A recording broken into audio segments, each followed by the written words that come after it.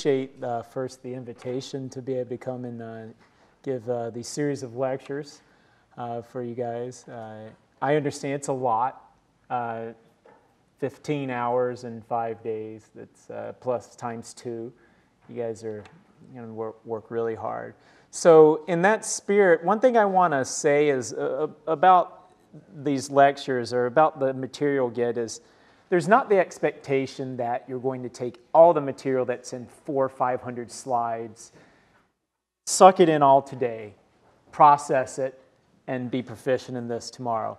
What I really hope this is is more a reference for you as, as you're working through your graduate career and your professional career, is that mainly within just the near term, the next year or two years, you can say, okay, I remember this vague idea and you can go back and look through the notes. And then even when the notes aren't clear, then you just send me an email. That's, that's the best way I, that I, I, hope this, this works for you because there's no way that we can, we can comprehensively cover everything even in 15 hours, okay? And so there's obviously topics that are left out. There may be topics that you were hoping for or expecting that are left out, but hopefully I've tried to hit uh, kind of the theory and principles behind sort of the major techniques. And it's the last part of the title that's really important. It's the turbulent combustion part. Okay? Oh, go ahead. And so, really, that's why I'm not comprehensively covering every possible diagnostic there is. It's ones that are primarily used that can be used for single shot imaging, instantaneous realizations. Okay? And we'll talk about this when we start talking about. Uh, start talking about this will work out. I think this is what we practiced with yesterday. Believe it or not, we come here a day before, we set everything up, make sure it works, and then we forget to hit all the right buttons on the first day. So, but anyway, this should work out. So anyway, that, that's kind of a, what I hope that you get out of this is that it's really for the practitioner. It's for you to apply, okay? And you'll see there's a tremendous amount of theory behind these diagnostics that we'll go over. You'll get 250 equations. It looks ridiculous. We'll do a lot of derivations, but it's really to give you kind of the background of when you go and use a diagnostic, you don't use it blindly, that you know the limitations, you know the error bounds, you know the uncertainty, and that you can be confident with your measurements, okay? That's really what we want. There's too many times that I think a lot of these measurements are just used blindly, and, and, and the results are very difficult to interpret in that case. So hopefully after this, you'll be in the top 10% in the world for understanding the ins and outs of uh, some of these techniques and their application. Okay, so again, if you guys want to, curious, don't do it now, don't get your phones out now, but if you want to at some point want to look at what my group does, this is our web page. As you can imagine, everything is up to date except for the actual research itself. And so uh, we, that's always the last thing. We update, we put a tons of content, and then it's outdated a bit. So, but anyway, go through, go visit website, uh, see what we're doing, and again, my contact information is, is on there, okay? And so really, this kind of graphical schematic kind of goes over a lot of what we're going to be talking about today. Uh, what we'll be talking about this week is generally we're going to hit the laser diagnostics from various viewpoints, from the optical side, uh, from the diagnostic side, and then the interpretation side as well. All right, so what is, we're in lecture one, day one, okay? And so what is the goal of lecture one? We want to set the stage for the remaining diagnostic, I mean, for the remaining lectures. Hopefully, I'll be able to give you a bit of motivation. Very short, you're having, you've had either had combustion class or you've had combustion in the morning. Oh, laser pointer. All right, so I don't have to use my feet. Thank you. Does this need to, this needs to go in?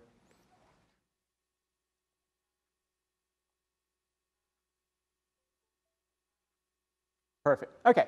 So we'll go over motivation, why we want to do combustion. First of all, as a, as a hands, in this class, how many of you are experimental? I should say, how many of you are not experimentalists? Anybody taking the class that's a computation? Outstanding. I'm going to look at you and talk to you the entire time. I'll talk to you this entire week. Okay. Okay, how many of you, though, are experimentalists and do not use laser diagnostics? I mean, you just thought it was going to be interesting, but you're more uh, Okay, that's good. So we, now the rest of you have no reason to actually be in this class because you already use them, you already know everything there is. So you all just, you know, stay quiet and correct me only in the breaks, okay? Okay, so hopefully we'll give this why we want to use these diagnostics. What we'll start talking about in this lecture is an interaction of light and matter, really the basics for combustion scientists. Again, this is not going to be from a chemical physics point of view. It's not going to go down the rabbit hole of like a hardcore physics. Uh, very, uh, the amount of times you'll see quantum mechanics will be very, very light, but it's really the basics and foundation that you need uh, to understand a lot of these diagnostics. Okay? Uh, again, in this lecture, just an overview of what I call popular and useful is actually just really the tried and true laser diagnostic approaches, okay, and general challenges from a measurement point of view. And so, again, one of the themes that you'll see through a lot of these lectures is I will take at times even a negative approach on some of these diagnostics, where their flaws are, where their warts are, okay, what, what is wrong with them, and what do we need to understand, how do we bound a measurement, okay? And so, again, what we're going to see is that we have a great challenge in turbulent combustion is the fact that, and I'll get into this throughout the lecture, is that we're trying to, uh, from a very complex system that's combining turbulence and chemistry, we have a whole range of length scale species, everything that's happening, and we make a very sparse, I mean, the kind of the sparsest data set you can imagine. We usually make one or two measurements and we attempt to understand what's happening. So there's a, there's a pretty massive challenge. And so, uh, and again, even when we make a measurement, are we actually resolving everything? When we don't resolve things, what, what are the implications for that? So we'll talk a little bit about that. Okay? Okay, so we'll start a little bit in our, our, our motivation. Again, not only going to have one or two slides because you, you get this in, in a lot of your, lot of your courses and, and even here early in the morning. Uh, this is 2018 uh, energy consumption uh, chart. Uh, it's in, in quads. The nice thing is it's uh, 101 quads, which is very close to 100. So almost you can just add these things up, and the total uh, summation is essentially the percentage. But really, what you want to point out on this is of the uh, energy consumption uh, in the United States in 2018, about 85% came from combustion, okay, and, and thrown in there is as biomass. And that's not unexpected. We've been touting for a long time 80 to 85% of the energy usage comes from, from combustion. That's usually the first line we write in kind of our proposals, right? That's how we, can we put the, the hook in. But what's a little uh, interesting is that if you go and look at the amount that actually goes through energy serv- uh, services versus the rejected energy, things that may go as waste heat, et cetera, about 68% of it is rejected. Okay? So there's a clear uh, there's reasons for this. Again, that's not the uh, topic of, of, of, these talks, but it really shows that there's an opportunity for us to make improvements, efficiency, utilization, uh, etc. And so, really, what this can kind of be kind of the underlying or the uh, overarching theme is is there's still work to be done, a significant amount of work to be done in combustion science, and we need to develop certain tools uh, to examine these processes. Okay. Now, when we get into kind of what our challenge is, this is kind of characterizes a lot of what we're dealing with. I'll show you later when we're looking at kind of time scales on, on these things, is that each one of these full cycles is occurring slightly faster in the blink of the eye. I've timed that out. And we're really trying to characterize the physics, the structure, the chemistry, if you will, the fluid mechanics that's happening on things that are occurring, uh, you know, in, in very short time scales, microseconds to milliseconds, okay? And so I'm not going to talk, we're not really looking at the physics here other than that they made very interesting movies, but really the point is, is that we have quite a challenge in understanding. Here's a simple four-stroke engine. You know, we have intake, uh, injection, the power stroke, and the exhaust. And we're attempting to, one, understand the fundamental physics in these processes and to understand them at a point to where we can develop computational models that can, not, that can predict this and ultimately used in design. Okay, so that's kind of, you know this, you've been in combustion classes, you know kind of the motivation, but sometimes it just takes a, taking a step back and looking at something like this. This right here is a, is a, is a single uh, four, four stroke cycle and you can just see uh, it's going to it has a massive amount of information that's even contained even in these visual images that we attempt to understand and now we want to zoom down to the smallest scales the smallest length scales the smallest time scales with our diagnostic approaches and hope to glean actually some pretty useful information from this okay so again the questions that you should be asking yourself of taking this course here in the summer school is how, how do lasers and photons, if you will, help with the energy problem? How do lasers and photons help us understand engines? And ultimately, how can we improve these engines? Okay? Why has the community, from a measurement point of view, shifted to laser diagnostics? Why is there a continued emphasis on the development? Okay? And, uh, you know, why, why do we uh, take the effort to make these extremely complicated systems, these, these very expensive systems, and to hopefully get a single measurement? These are the type of questions that maybe you should ask yourselves. They generate very nice images or very nice results, but hopefully it's a little bit more, more than that. Okay, okay. so in laser diagnostics, what I'll contend, which I hope many of you would too, are laser-based measurements are an important tool for studying combustion processes in detail. So let's try to pick this apart a little bit. Again, we're in lecture one. We're trying to build the foundation of why, why you would want to make measurements other than maybe your advisor says, okay, I have a laser sitting in the corner, go make a PLIF measurement. Or, you know, but let's, let's say why, why would we want to do this in the first place? Well, you have a tremendous amount of selectivity, okay? You can pick from various techniques to measure quantity of interest. There's techniques for species, temperature, pressure, velocity, and even particle characteristics. Uh, they're typically non-intrusive. Well, this will be a theme we talk about. Uh, they're not always non-intrusive. Photons, in, in general, do not interfere with fluid mechanics. This is extremely important for turbulent flows, okay? Uh, and we don't interfere with chemistry. Unlike a physical probe, as you can imagine, there's a whole host of chemical processes that can come, but just it's very, uh, very simple to visualize the fact I put a probe in a flow field, the streamlines have to diverge, they go around the flow, probe, etc. Okay? So uh, laser diagnostics are non-intrusive.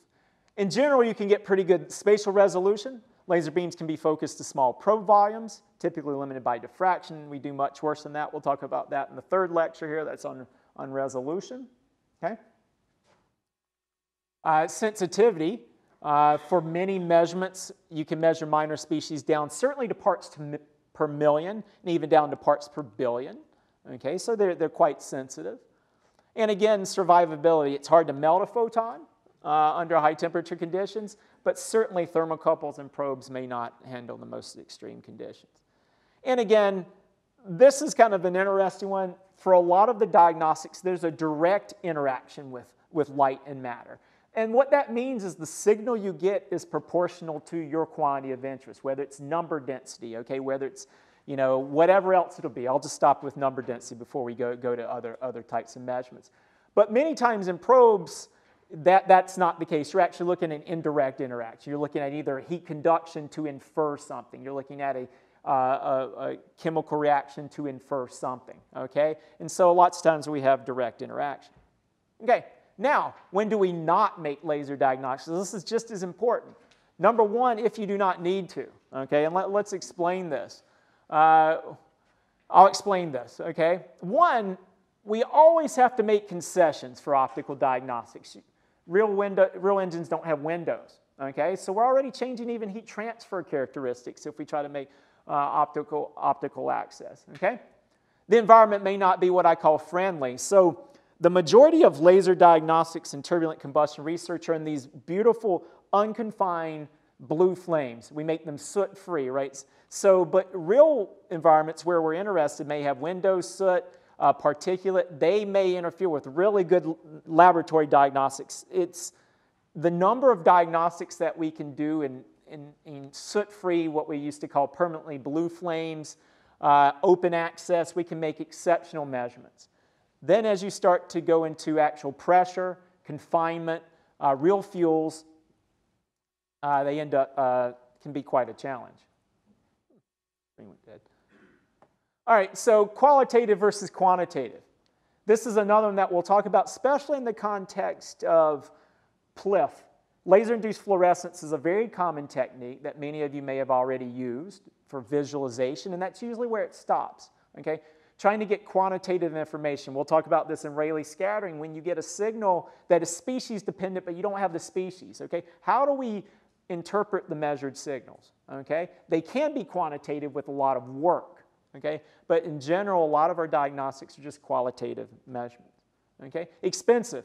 Laser and a camera may be about 100000 a thermocouple may be $20. So why, why do we go through this uh, uh, trouble? Okay, time consuming as well, expensive in time. It may take you six months to get a certain system online. It may not take you six months to get a thermocouple online. Okay, complexity. They can have large footprints. Again, system alignment, repeatability, sensitivity surroundings. Many of uh, a few years ago, when femtosecond laser diagnostics were coming online, People would have to keep their labs humidity controlled to a fraction of a percent. Vibrations in the room would cause the systems to go out of alignment, okay? And this is an exceedingly frustrating. At the bare minimum, when we take measurements, my students realign the entire, and you guys do too, realign the entire optical system daily. And the more elements you put in there, as you get into 20s to 30s to 40s pieces of uh, optical pieces, you have to align these every day. So they're, they're kind of a, a pain. Okay, so they're complex. So when you don't need that, uh, they, they come with quite a bit of overhead in terms of time. Okay, so we want to keep that in mind of, of when and when not to use them as well. Well, what, what's the role of laser diagnostics? We'll move on to that and start sort of branching out. Okay. One of the primary reasons of using laser diagnostics is to understand the fundamentals of reactive flows. Okay, these again can come in the concept of you're in laboratory flames, you're trying to understand the fundamental physics, you're trying to understand a singular unit problem of a more complex system. Okay?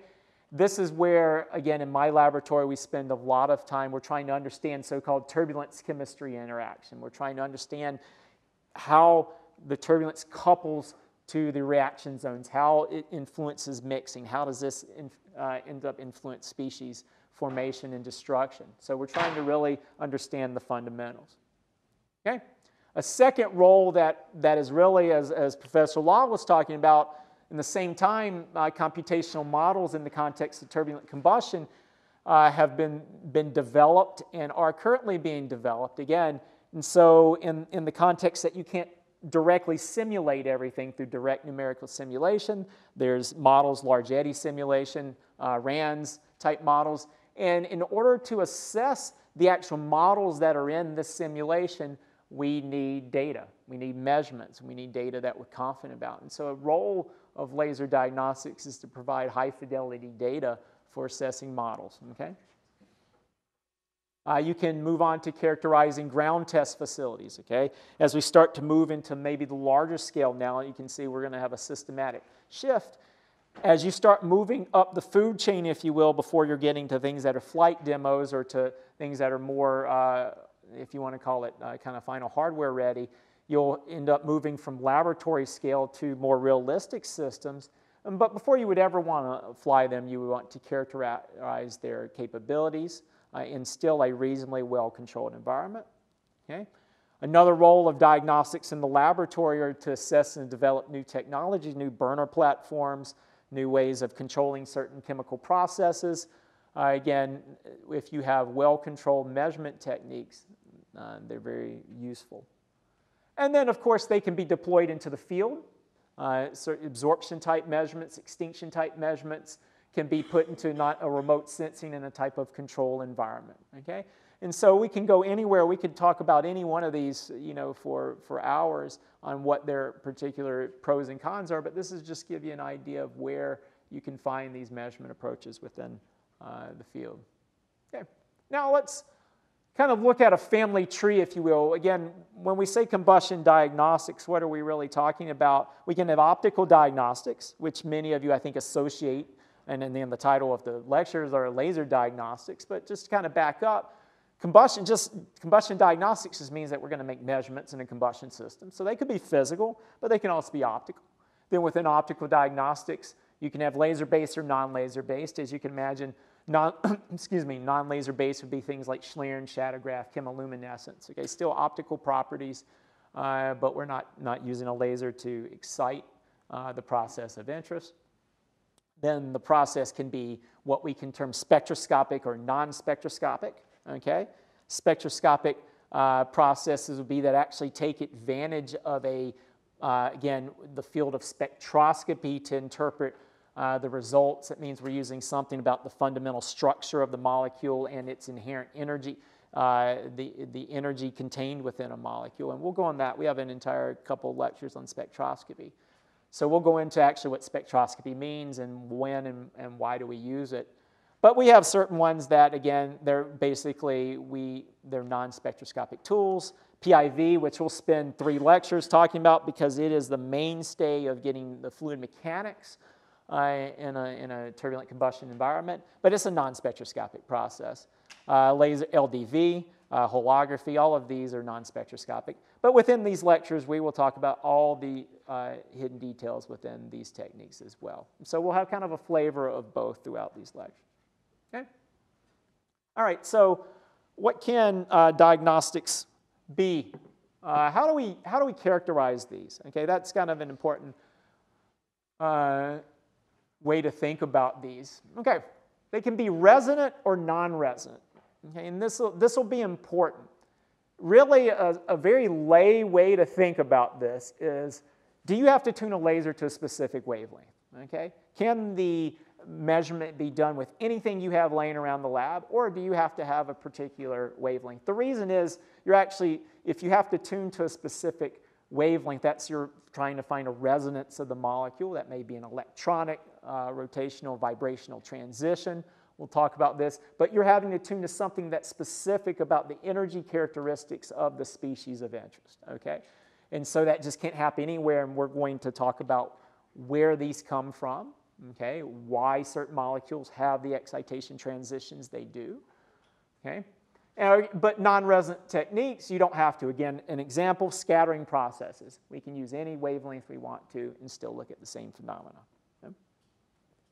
They can be uh, line of sight. So how many of you uh, use chemiluminescence as just a, a, a, kind of a first order type diagnostic? Chemiluminescence, there's no laser, right? But the information you get is integrated throughout the entire depth of field of the camera. so that's line of sight. How many of you use absorption techniques? Anybody use absorption? See, there we go. So that's from a laser diagnostic, that is a path integrated measurement as well. You get the entire path integrated absorption, okay?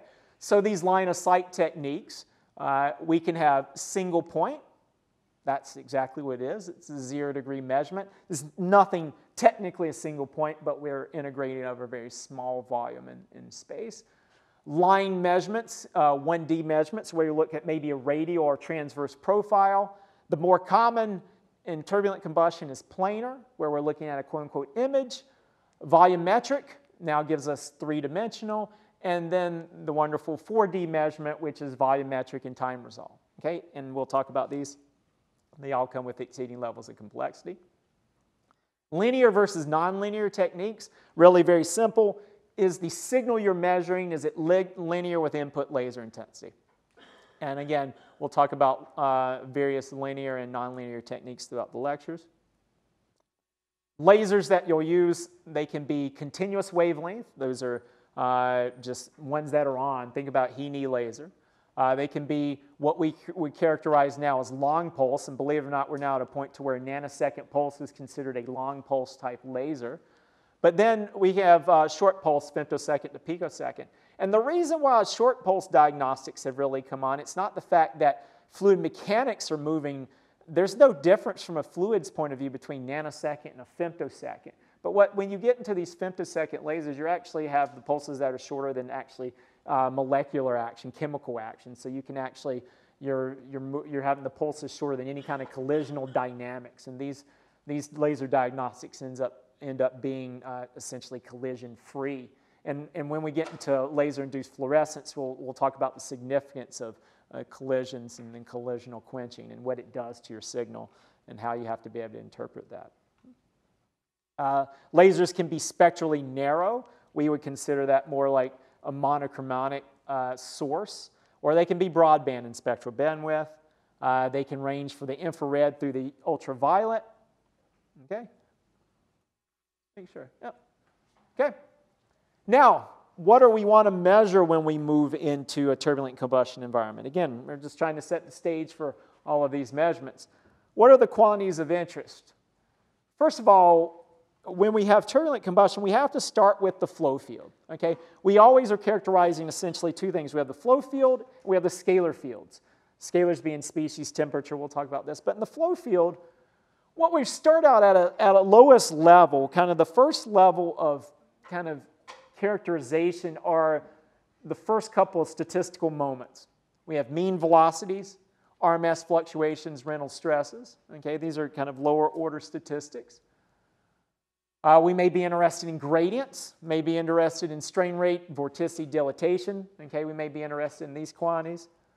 Uh, integral scales spectra, okay, all these different types of phenomenon. In scalar fields, again, the exact same thing, statistics, but now we're, we're become interested in topology from imaging, the structure of flames, uh, the curvature, where we have flame extinction, et cetera. These are type of things that you can get from these type of measurements. Gradients and dissipation rates.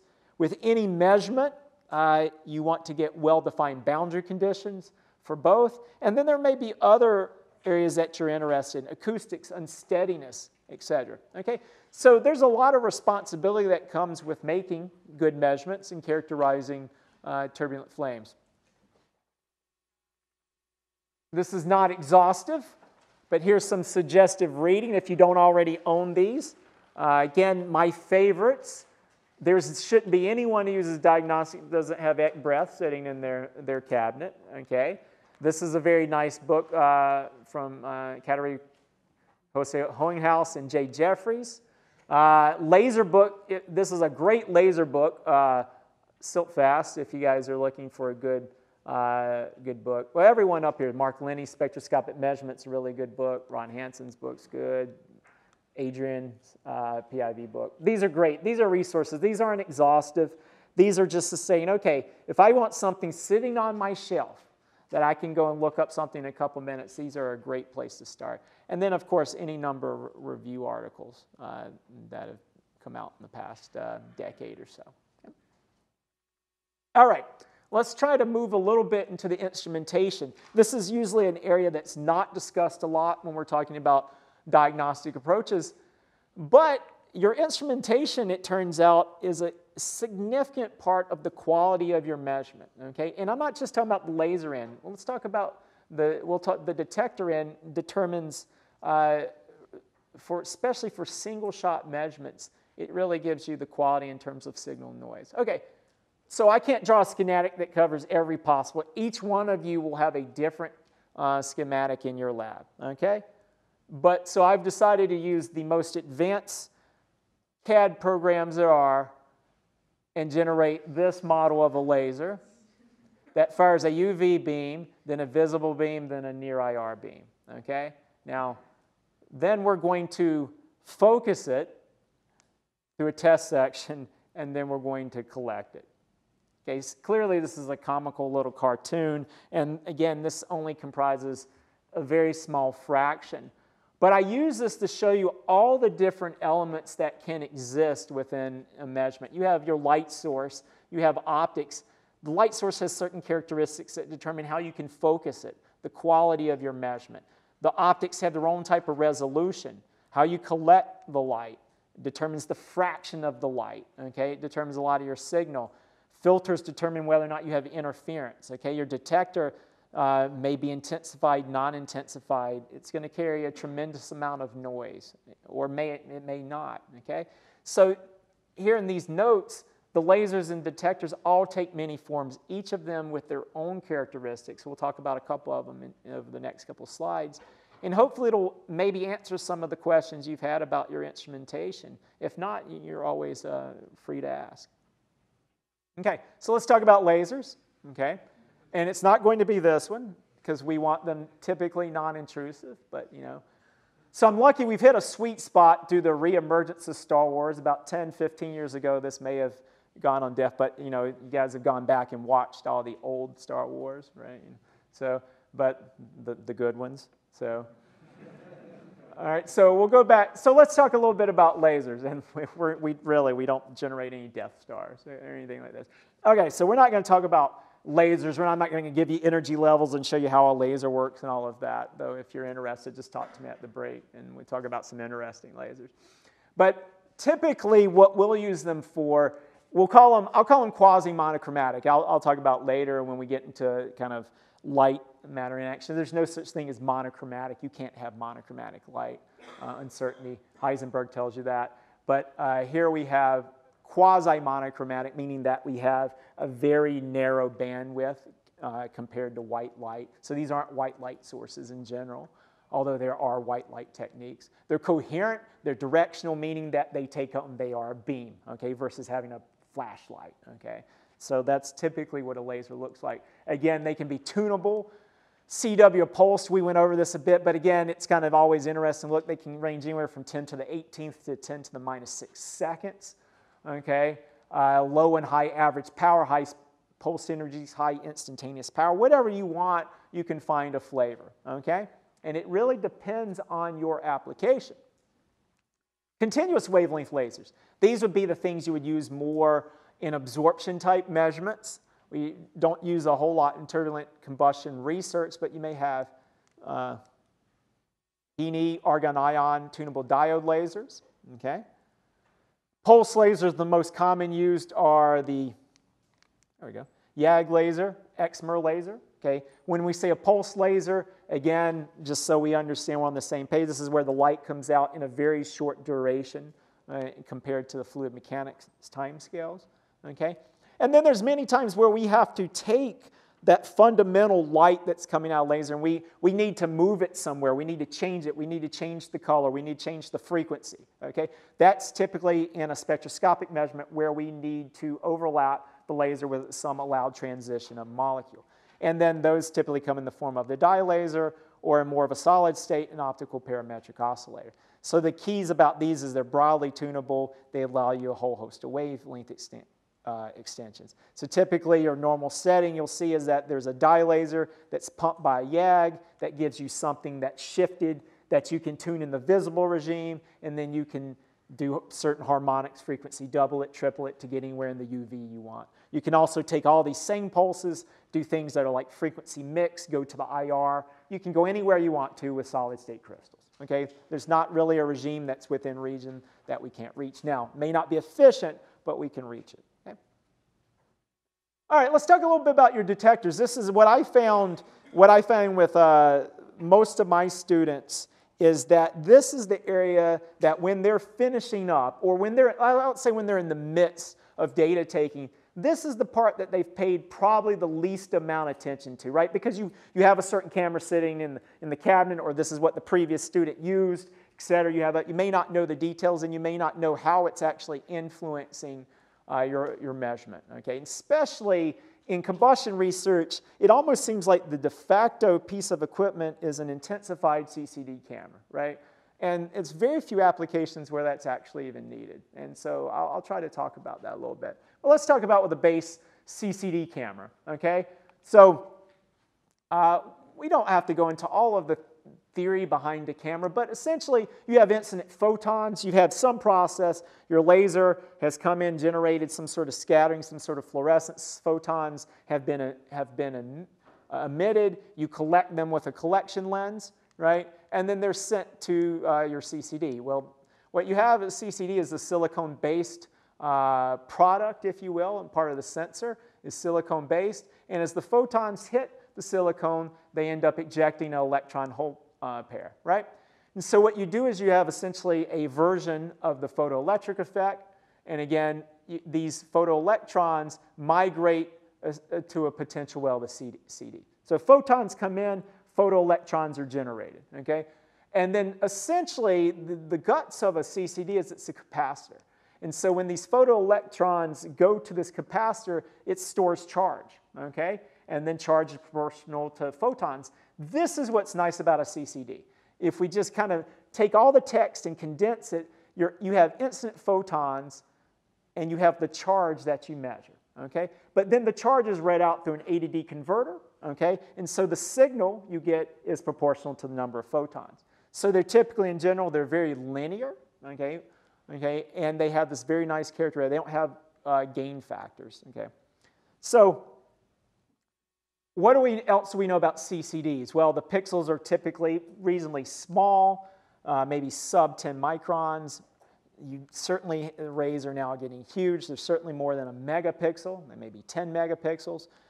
The utility of, of these is that you yield images. This is what we really want kind of at the lowest level. We can see structure, okay? And again, here's kind of the key. They're very linear and uniform, low noise. We'll talk about noise sources in these lectures. The noise is really only coming from shot noise and from read noise, okay? And both of these can be controlled very well on modern CCDs. And they exhibit a very high dynamic range. Okay, and dynamic range will define as just your kind of the range between the highest and your noise floor. Okay, so CCDs are kind of scientific CCDs are really what you want to use uh, when you can. Okay, and again, I'll talk throughout the diagnostics on many of these. We can actually use CCDs where historically intensified cameras have been used.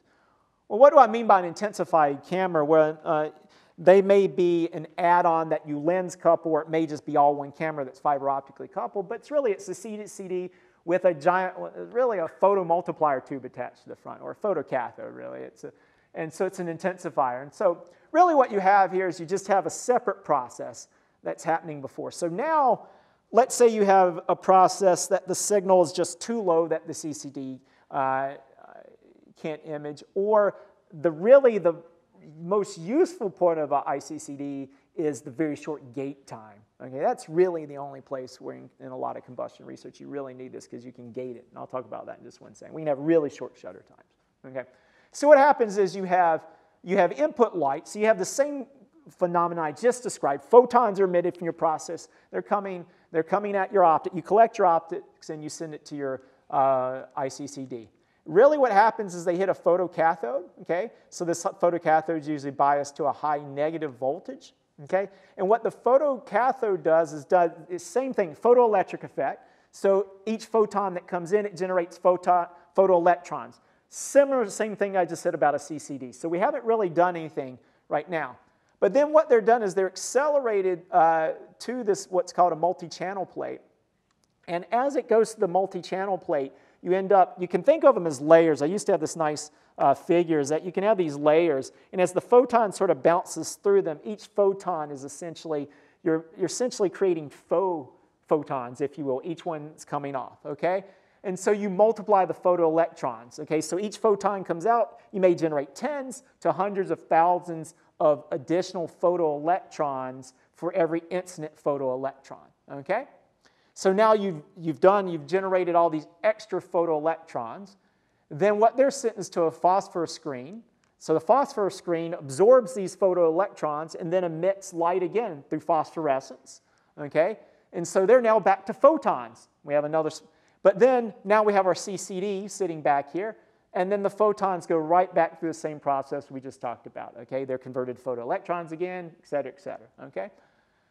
So one of the things that we should realize for the, what the ICCD is doing is it, it intensifies your signal, meaning that you're multiplying every incident photon. That's what gain is referred to.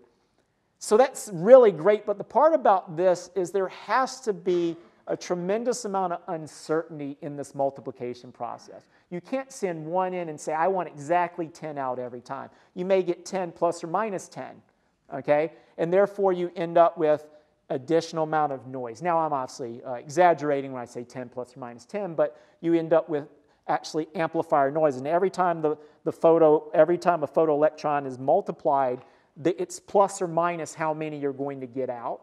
But then those new photoelectrons are also amplified on the next pass, and they have some statistical uncertainty, and you keep this uh, going, uh, going along.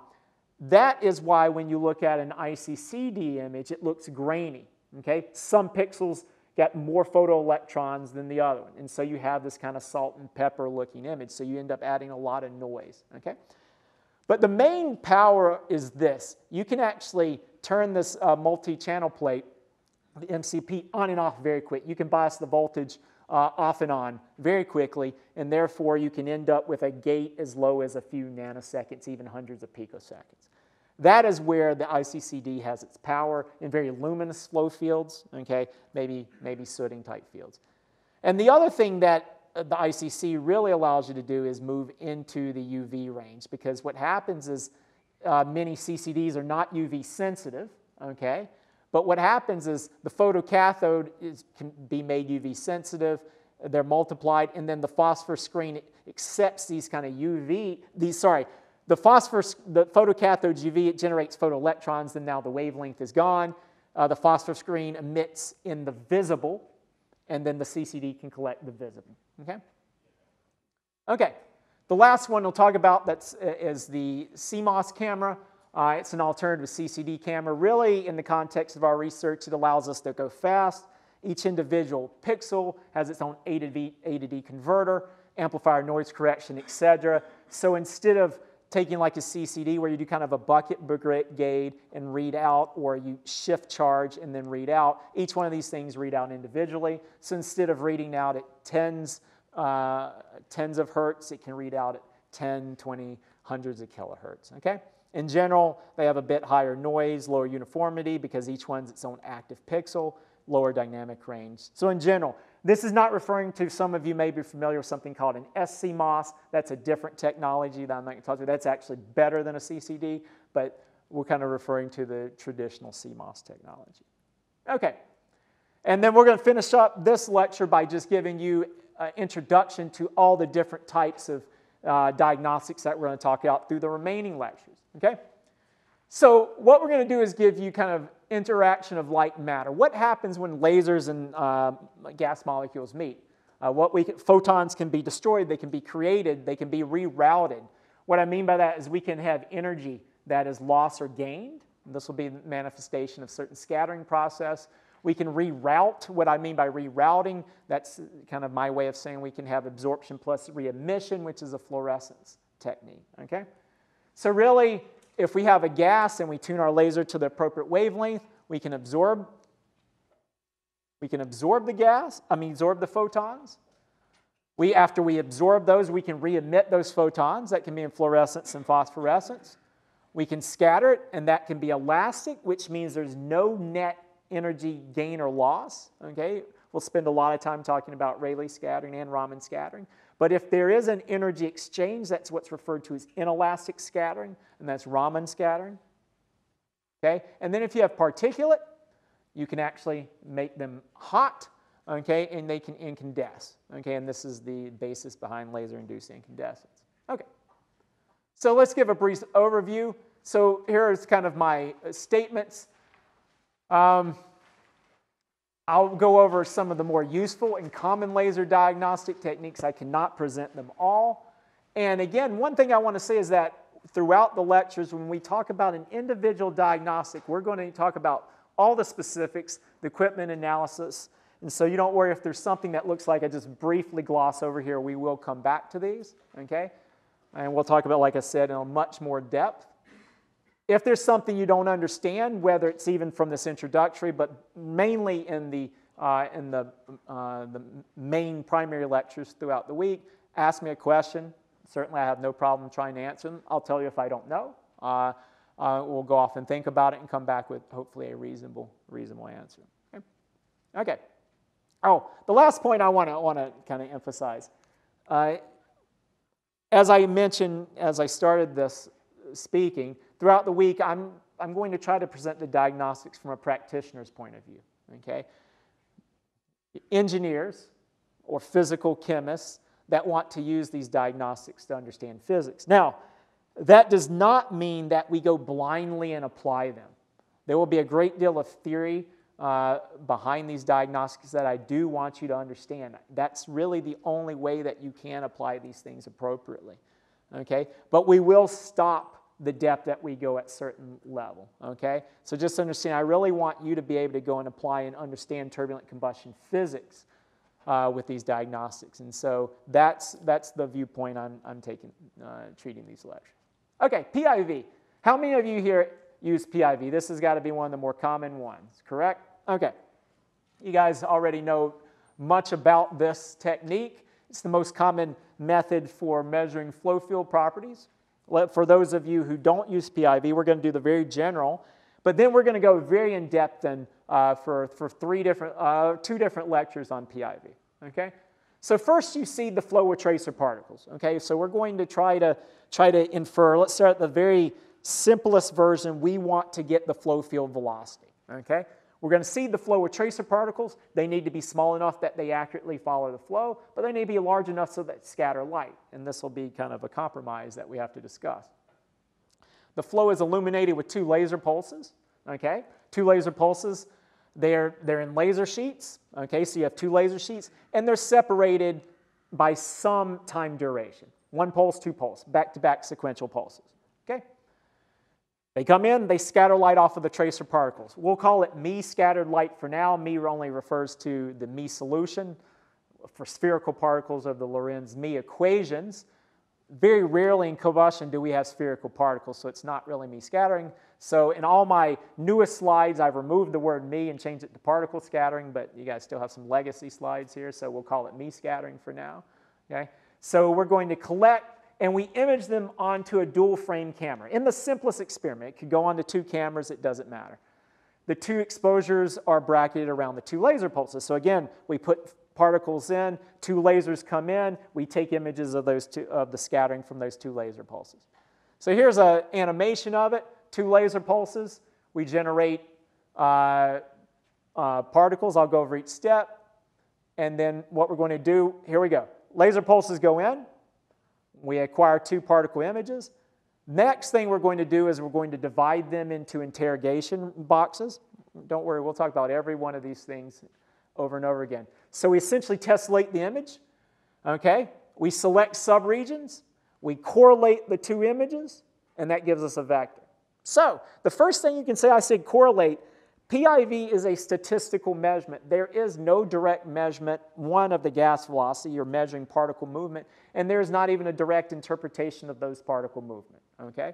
So it is a statistical measurement that is subject to a lot of assumptions, okay? And that's why we'll, we'll, we'll speak about this for multiple lectures. And in lecture seven, of which you don't have in your book, which, which since you didn't have it at the time it was printed, I put bonus lecture on my slides it's actually something about a new technique where we actually do do this directly for, for optical flow. I'm going to uh, talk about a technique that we've been working on in my lab, which is actually pretty exciting. So, but right now, PIV. So right now, hopefully everybody understands the basic idea. We put particles, we track their movement, we infer the velocity, okay? And we get a velocity field. So again, the way that we get this is the gas phase velocity is determined from the motion of the tracer particles. There are a lot of potential problems with this. Again, we can't track the motion of individual particles. We can, but only for very sparse seeding, and there's problems with that. So what we do is we get more dense seeding like we have in PIV. We divide the images into coarse regions called interrogation windows. They're usually typically pretty large. Even the smallest ones are 16 by 16 pixels. So you're already thinking, well, does that mean I only get one vector every 16 by 16 pixels? Absolutely. You get one, uh, one vector, okay? So you can see there's going to be a spatial resolution problem with PIV. Okay? Uh, we correlate frame one and frame two, and in the, in the simplest way possible, the peak correlation between the two sets essentially gives you an average particle displacement between the two sets of images. Okay? And that is what we call the velocity vector of that region. Okay? So here's a lot what, what they end up looking like. Again, many of you seen these. This is just a part of a vector field. You can get very nice vector fields. And where they really come into real utility is when we start combining these, and we'll talk a lot about this later, start combining this with scalar type measurements. And now you can actually look at the interaction maybe of the vector field, the velocity field, with the actual flame. This is from DLR, which is in a uh, model gas turbine, a swirl flame, and this is the OH-PLIF measurement. And it's a very nice, I always like looking at these images because this is a nice example. You can actually see the interaction of the velocity field kind of working with this precessing, uh, this flame that's kind of encapsulated within a precessing core, okay? Okay, so kind of if we had to summarize this, PIV uses scatters from tracer particles, so we would characterize this as a non-resonant technique. You can do it with any wavelength you would like. Uh, it's somewhat spatially resolved. Okay, it can be operated with a laser sheet, or again, as we move into say tomographic uh, imaging, where we need a volume, uh, maybe a, a, what we'll call a thick laser sheet or a slab. Uh, you, again, we know the, the technique uses two pulses of light in a dual frame camera. It's a linear technique, meaning that the signal scales with I, even though this is not really important for PIV. at all. Okay? Velocity, here's the key, and I, I, want this to really be what's percolating in the back of your mind. Velocity data is directly inferred. And there, the significant challenges come, especially in reacting flows with seeding and with correlation processing. Okay? And we'll, we'll talk about those. Laser induced fluorescence. Okay, so LIF is a common technique for probing or visualizing species concentration distributions. All right, the flow, again, this is, we'll already jump to chase, this is a resonant technique, so we have to tune a laser to a certain transition. So we have to tune a laser that overlaps an allowed electronic vibrational rotational transition, depends on exactly what we want to look at, in an atom or molecule. So here's an example of a lower, uh, the lower electronic state in the first, uh, sorry, the lower, essentially the ground state, the lower electronic state, the X state, and then the first uh, electronic state of OH. Okay, and so if some of you have seen these potential curves, you have the X state and you have the A sigma state. Okay, so this is the first excited state. Now, if I told you, hey, I want you to go make an OH PLIF measurement just because I want some visualization, I just want to see the flame front, and you say to me, okay, where do I tune my laser? Well, you would go read in the literature, oh, if someone's doing the 1 0 band, for those of you who've done OH PLIF, I tune to 282 nanometers, or whatever it is, you go read a paper and it tells you where to tune. Well, where does this come from? Well, if you want to excite uh, from essentially the ground state, again, to the 1 0 transition, and we'll go over the nomenclature in detail, okay? But this is essentially, we have vibrational rotational bands here. But let's just right now, we'll keep it very simple. We can go and actually on this potential energy figure out that, okay, looks there, I got about 35,000 wave numbers, okay? And then if I convert that, that's 282 nanometers, okay? So the wavelength that you tune to is a direct product of the spacing, the, the energy spacing within a molecule, okay? And these things become, for diatomics, they're fairly straightforward as the molecule becomes more complicated. Uh, the spectroscopy and these potential energy curves become kind of complex for polyatomics. Okay, so the first thing that happens for fluorescence is the light is absorbed, okay, and we'll talk about absorption in detail, but really what that means is photons come in, you tune them to right, uh, right line, and this actually, the molecule or the atom actually absorbs those photons, so it's taking on this excess energy. Okay, so it's not happy anymore, right? It's not, it's not in its happy kind of equilibrium state. It's actually absorbed this energy. So it can hold on to it for a little bit, okay? It can, that means it can stay in the excited state, but eventually it has to get rid of this excess energy, okay? And, and the reason it can hold on to, there's a natural lifetime of the excited state. Uh, during this process, it'll redistribute all this energy, whatever specific vibrational rotational transition you tune to or absorb to. It'll eventually redistribute via vibrational energy transfer, rotational energy transfer. It'll redistribute all over the the excite, upper excited state, but at some point those will start to decay down to the lowest level, and then it has to get rid of it. Okay, it just can't hold on to that energy. And so it starts to fall back down. What can happen? Well, the majority is going to do this. I, I absorbed a certain amount of photons. Okay, that's great. If, if all of that I can use that useful, get that out in light, that's fantastic. But I can't do that. It's going to run into molecules, so they take the energy. So what happens is this molecule in excited state has this excess energy. It runs into another molecule. It gives up that excess energy via collision. So we get nothing out of it. Okay?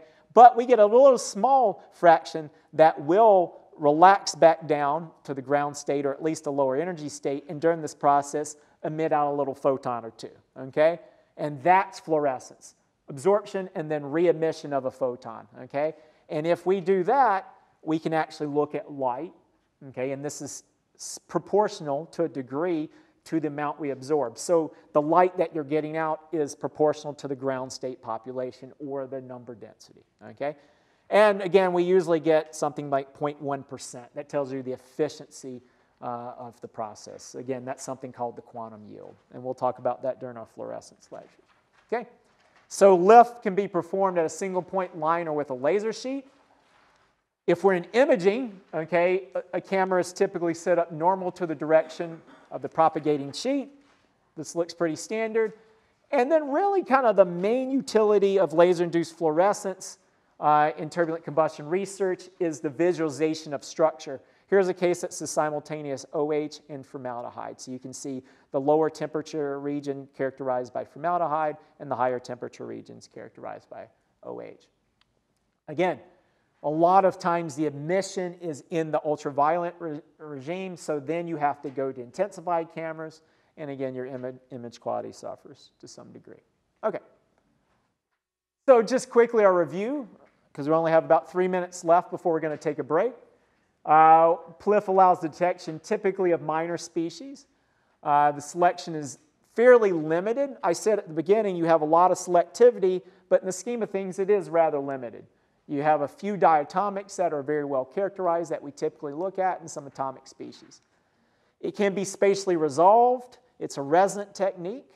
Uh, single photon LIF, meaning we just go to one transition, is linear, but multi-photon, which means we have to, we can't quite, let's say if we have to go to the vacuum UV, let's say the energy gap is just too, too great, we can send something about halfway there, and then another photon can go and knock it into the actual uh, transition. We'll talk about this. That's multi-photon LIF. It's nonlinear technique, uh, and signal goes way down. Okay? Predominantly a qualitative visualization technique, but and we will spend a tremendous amount of time talking about quantification because it is difficult. And there can be significant differences between the signal and the species. That's an important thing to think about. Okay. Scattering processes. Okay? So we talked about fluorescence just quickly. Uh, there's a resonant processes that require the laser that's tuned. Scattering does not have this restriction. It's a non-resonant process. Okay? Uh, again, we already talked about particle scattering, but what we're more interesting here is the scattering from gas phase molecules. So here's an image just took for fun in my lab with long exposure. You can't tell on the screen, but you can actually tell on the computer. You can see the ones that are really bright that from like dust in the room, but then you can actually, this stuff is actually just the actual gas phase uh, number density of the molecule. So that's what we're more interested in. We'll talk about two types of scattering process throughout these lecture. Again, elastic scattering and Rayleigh scattering, okay? And then Raman scattering. And we'll talk about all the different components for those of you. How many of you have done Raman scattering or are doing Raman? Did anybody do Raman? That's probably one of the rare ones. How about Rayleigh scattering? Anybody do Rayleigh scattering? All right, well, then you get to learn, learn a lot of new. Okay, so Raman scattering, we will spend time about the difference between rotational and vibrational, and it's actually coupling to Rayleigh scattering. So uh, we'll have several lectures on this, so that should be pretty interesting. Okay, uh, Rayleigh scattering is the quasi-elastic scattering okay, from small particles. There's no net gain or loss of energy, so the scattering is at the same wavelength as the laser. Okay? Raman scattering is inelastic. We've already talked about this. So what happens is a photon actually goes to sort of virtual state. It's not quite absorption, but there's energy gain or loss. And we'll talk about why that is. It couples to various vibrational rotational modes in the molecule. So what happens is, is the scattered light does not come back at the same wavelength, but it's shifted. Okay? And whether or not, if it loses energy, it ends up shifting to redder wavelengths or lower frequencies. And if it gains energy, it ends up shifting to bluer wavelengths. These are Stokes and anti-Stokes. All of these aspects we'll talk about in detail. Okay? So these are pretty weak. The thing that we should really know about Raman processes are typically about a thousand times less than Rayleigh scattering, which is about a thousand times less than particle scattering.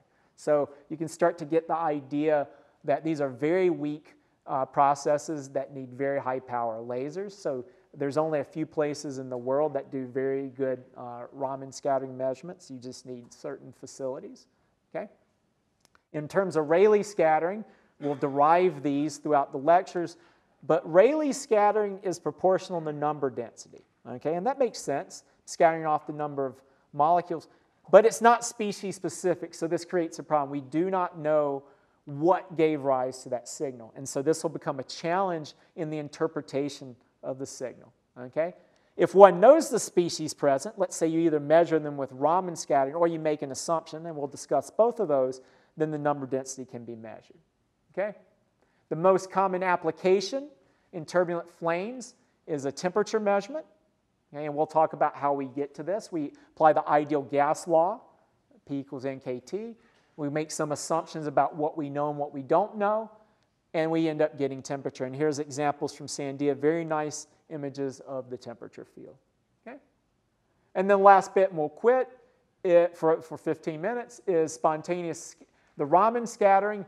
The equations look a lot the same, except that the exact wavelength shift of Raman scatter light is bond specific, okay? And we'll, we'll talk about this. And so that it becomes, since it's bond specific, when you have a species, a simple species mix, this actually becomes a species specific type of measurement.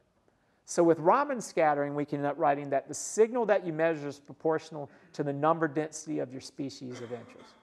Now, you can imagine this is how it looks like. Versus Rayleigh scattering, you send the light in, you get essentially one spectra out. Okay? For Raman scattering, you get something that corresponds to all the different bonds. You have stuff that corresponds to a CH stretch, a CO stretch, a couple CO stretches, uh, OH stretches, uh, and then you have all these other species as well. Okay? And so that's what we end up getting with Raman scattering. We'll talk about how to collect and interpret the signal, okay, because that's actually very different than any other diagnostic. So the most common application uh, is to determine major species in a turbulent flame. Here's an example from Sandia, where you can see each one of these. It's a line measurement. The laser's put in on a line. So imagine the laser comes in like this. You collect the light and just flip it 90 degrees. That's what each one of these are. And then they're spectrally dispersed via spectrometer. Okay? So again, there's only one laser line, but then all of the different species information is dispersed spectrally. And we'll, we'll spend a lot of time talking about how you actually interpret this. Okay, how do you how do you calibrate? How do you interpret when these things overlap? What about all this stuff in the middle? Okay, it's a very difficult measurement. Okay? But what you get out of this when done properly are the actual major species carbon dioxide, water, H2CO. Keep in mind, it's complementary to fluorescence, which may only give you a single minor species. These give you the major species. Okay? When you have the major species, you have the majority of the atomic composition, and you can determine the mixture fraction, okay, which is, uh, tells you the rate, uh, state of mixing between, say, fuel and uh, air in a non-premixed flame. Okay? So the summary, you have it in your notes, but really, Rayleigh and Raman are non-resonant processes. They can be used with any source, but typically they're weak, so you need high energy pulse lasers. Uh, you can detect them in many different ways. I, I will go over detection uh, in lecture uh, 13 and how you essentially how you want to calibrate your system, how you want to detect. Okay, the signals are linear, uh, and again, as we work our way down, Rayleigh scattering is a measure of number density, but we don't know the species, so we have to make some assumptions if we want to turn Rayleigh scattering into something quantitative. Raman scattering can be quantitative, but it's kind of interesting, everything's temperature dependent. So what you find is that Raman and Rayleigh are usually jointly performed together, okay? And again, as you can imagine, the interpretation is quite complex. Okay, so let's stop there for now. We're going to take our break. Uh, there's only a couple slides on CARS, and then we'll move into lecture two, which is a shorter lecture, okay? So I'm happy to take any questions now or during, during the break. Uh, and so normally we meet back at 3.15, but let's take the full 15 minutes because the next lecture is a little shorter, or it should be, or I'll talk less, one of the two. So, all right, so 3.20 we'll start back again.